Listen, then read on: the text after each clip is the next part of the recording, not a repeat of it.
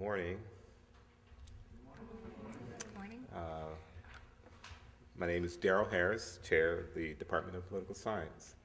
Welcome to our students, and uh, special acknowledgement to Associate Provost uh, Reedy. Uh, Thank you for coming this morning. Today is Constitution Day. Uh, Constitution Day is an American federal observance that recognizes the ratification of the U.S. Constitution and those who have become U.S. citizens. It is observed on September 17, today, the day the U.S. Constitutional Convention signed the Constitution in 1787. The law establishing the holiday was created in 2004 with the passage of an amendment by Senator Robert Byrd uh, to a spending bill in, um, in 2004. Before the law was en- enacted, the holiday was known as Citizenship Day. Uh, in addition to renaming the holiday Constitution Day and Citizenship Day, the Act mandates that all publicly funded educational institutions provide educational programming on the history of the American Constitution on this day, um, September 17th. So let me introduce um, Professor uh, Jay Stewart, uh, who is, as you all know, um, our pre-law advisor in the Department of Political Science. Um, uh, Professor Stewart is, Stewart is a consummate uh, organizer, so I want to uh, uh, sing praises to him for organizing um, this program. Professor Stewart.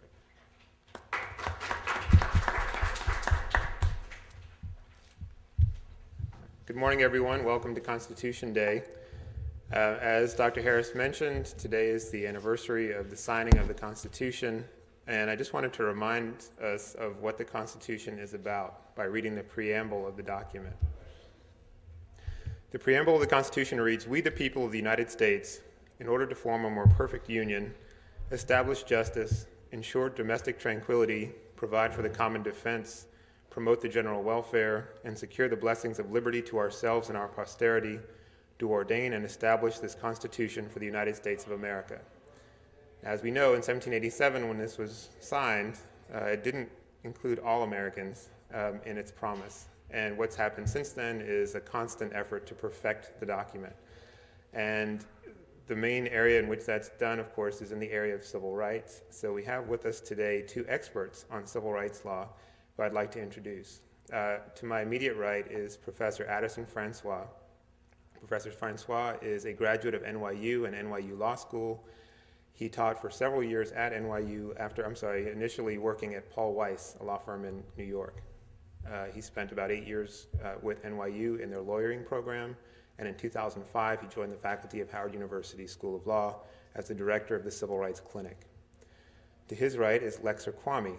Lexer is a graduate of Harvard College and also of the University of Pennsylvania. I've neglected to mention both of these folks have clerked for federal judges. Uh, Professor Francois clerked for the Honorable A. Leon Higginbotham in the Third Circuit, excuse me, and Lexer clerked for a federal judge, sorry, a federal judge in the Eastern District of Virginia. Uh, she also worked for a firm for a couple of years and then began to work for the Center for Law and Social Policy. And in the past year, she's come on board at the Leadership Conference of Civil and Human Rights. So what I've asked each of them to do is to describe briefly their work in the area of civil rights, and then I'd like to turn it over to students for questions. So let me begin with Professor Francois. Okay. Uh, good morning. Um, I'm thankful for, uh, to Professor Stewart for inviting me today, and also grateful for all of you here. Um, I'll try to keep my comments brief so that we'll have more time for questions. As Professor Stewart said, um, I run the Civil Rights Clinic at Howard, um, which is a course that is somewhat different than most courses in the law school. Um, that is, the Civil Rights Clinic in the law school operates as a civil rights law firm inside the school. And in that capacity, what we do is that we take on actual cases, be it on behalf of individual litigants or on behalf of institutions, and we litigate these cases with the help of students. Um, the students themselves perform all the work under my supervision because there are some special rules in most jurisdictions, including DC, that permits law students to actually practice law if they do so under the supervision uh, of a professor. Um, I have run the clinic for approximately five years, and typically what we do in the clinic is that we engage in what we call impact litigation. That is, instead of focusing entirely on a single individual, we tend to do cases that we believe are socially significant.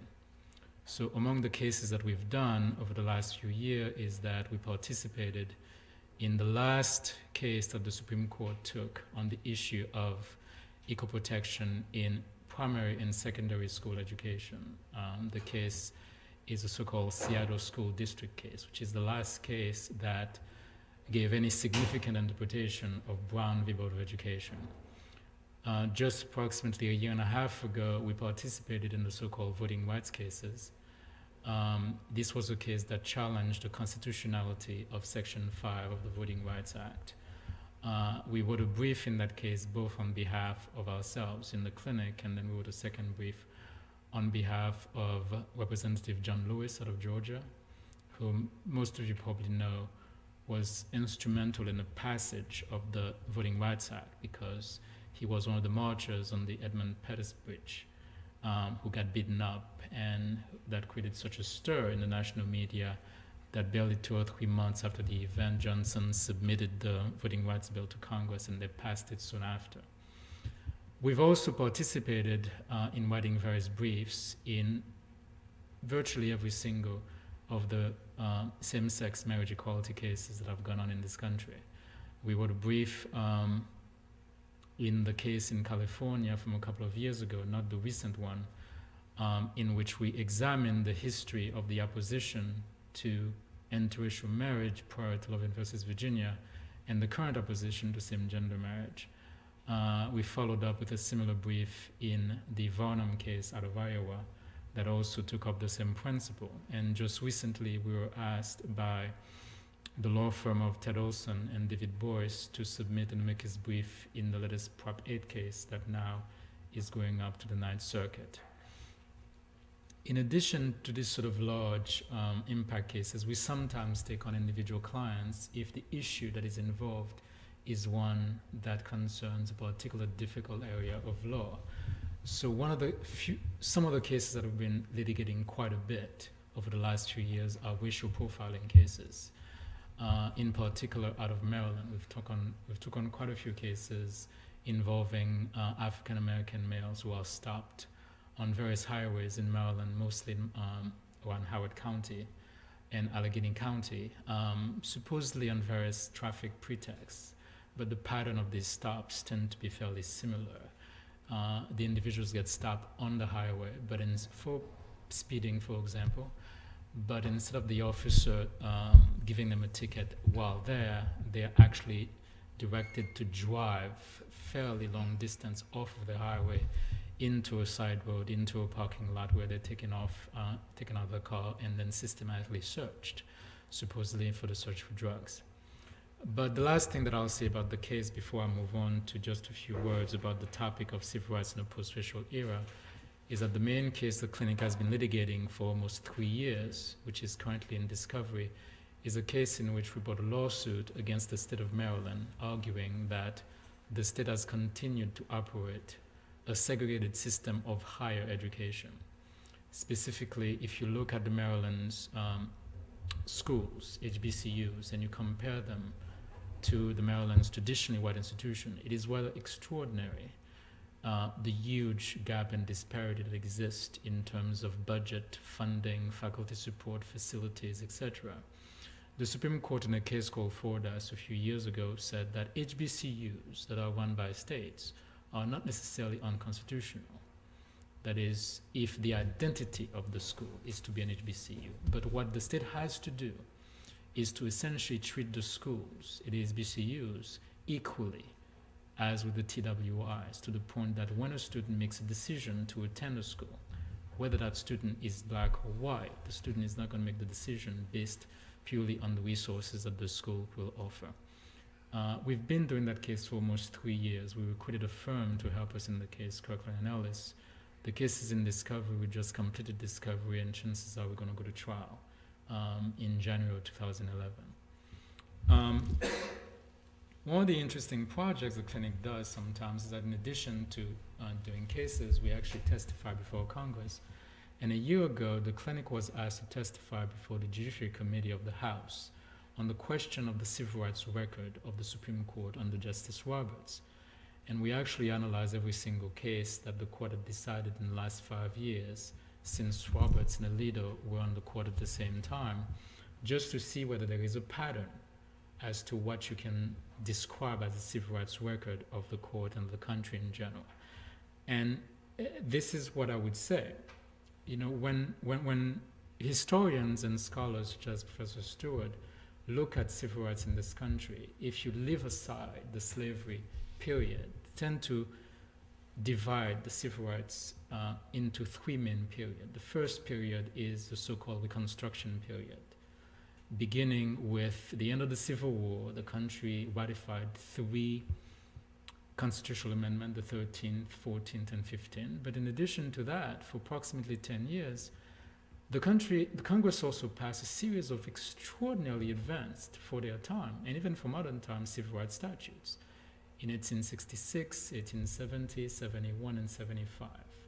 And these statutes, had they been enforced, probably never would have permitted um, segregation. But unfortunately, the Supreme Court, in a series of cases called Slaughterhouse, Cruikshank, and the civil rights cases, did not really permit enforcement. So once you go past the Reconstruction era, you get into what most scholars call the Plessy era, uh, meaning an era where essentially Congress backed out of civil rights enforcement. The Supreme Court pretty much shut down civil rights enforcement, and the court explicitly or implicitly sort of validated segregation. And we didn't come out of the Plessy era until uh, probably 1954 with Brown. And now we are in the third so called period of post Brown era.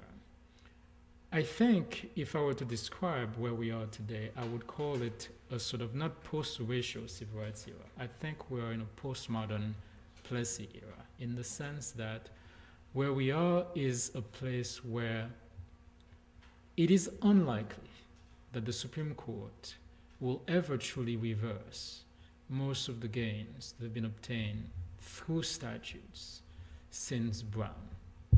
But it is also the case that the Supreme Court, in interpreting various constitutional provisions, be it the Commerce Clause, 11th Amendment sovereign immunity, has essentially taken the position where it's not going to truly advance um, the area of civil rights much further than, than where it is now.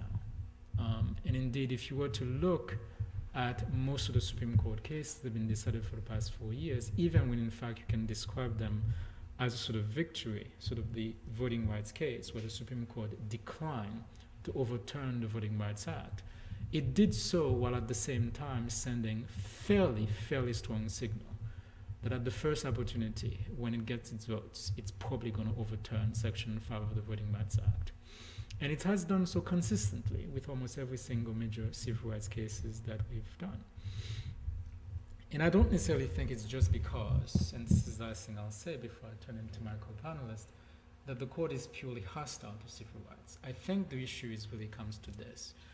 When we adopted the 1787 Constitution and the amendments that followed, we did so because we were paying homage to what we believe was the fundamental principle upon which the country was founded, namely liberty.